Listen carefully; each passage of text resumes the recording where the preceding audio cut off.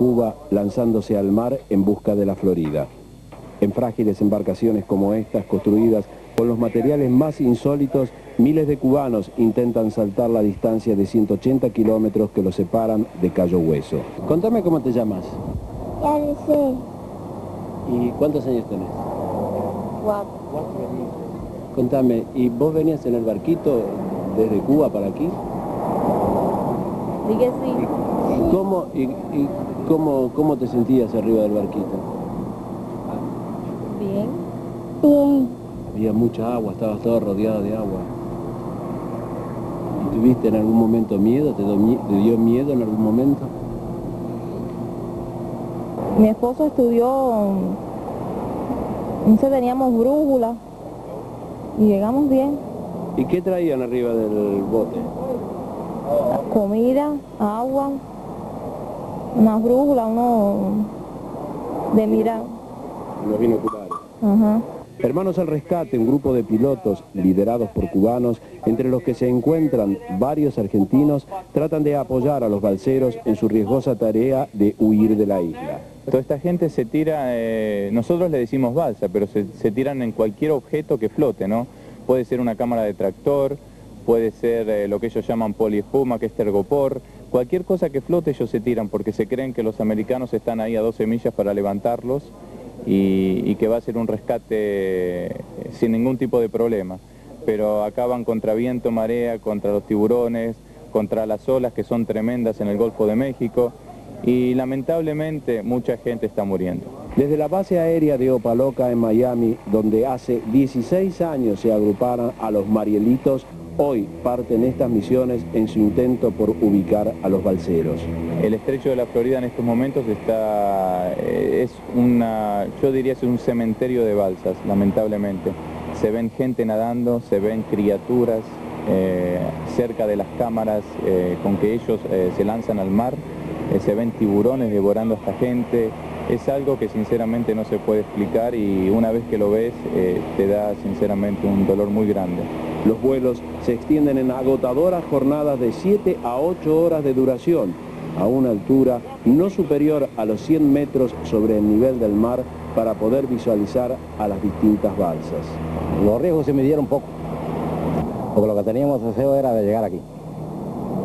Eh, nosotros salimos en un lugar dentro de, que está en la costa norte de- entre Mariel y Cabaña, un lugar que le dicen Herradura.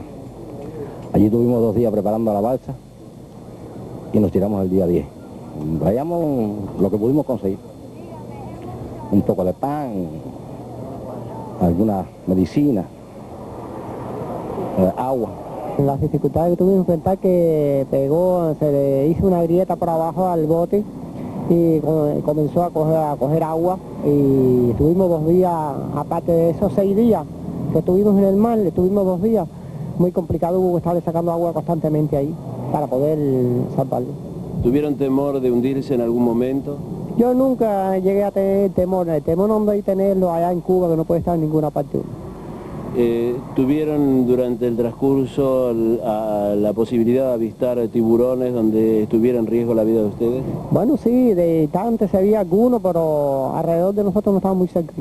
Llegamos a Punto Cojima, compramos una, una balsa, una balsa rústica, y nos tiramos, nos fuimos ese mismo día, con un cubo, un pomo de agua y, y 30 pan nada más. Entonces pasamos en el agua, tuvimos dos días casi, dos días y el, el viaje no fue tan malo, pero bueno, un día sin comer, o sea que los panes nos duró un día nada más. Nos preparamos, no, prácticamente nos fuimos y no nos preparamos mucho. Llegamos, compramos y nos fuimos. ¿Y durante esos dos días eh, tuvieron situaciones de riesgo? Sí, una, una situación de, de riesgo. Tuvimos, cogimos más tiempo afuera, como a 20 millas de, de las costas cubanas. ¿Y durante la noche eh, cómo se vive arriba de una balsa? Nosotros íbamos todo el tiempo mojados, cansados, porque nosotros nos fuimos a remo, no teníamos motor ni nada, vinimos a remo nada más. Perdimos un remo también. En Cuba se vive pésimo, totalmente pésimo. No hay comida, no hay medicina.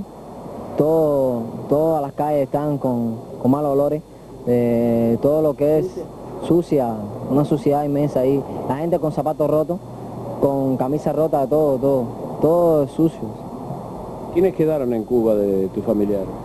Eh, mi madre y mi padre y mis tíos y eso quedaron. ¿Y eh, vos le dijiste a ellos que te ibas a lanzar al mar? Sí, sí, yo le dije a ellos que me iban a lanzar al mar. Ellos me dijeron cuídate y, y buena suerte.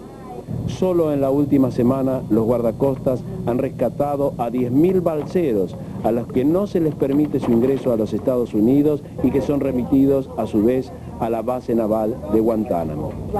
La situación está generando una conflictiva crisis en la Casa Blanca que en pocas horas más puede encontrarse con una explosiva situación en su base en la isla cubana donde estarían concentrados en poco tiempo más cerca de 40.000 cubanos y más de 10.000 haitianos.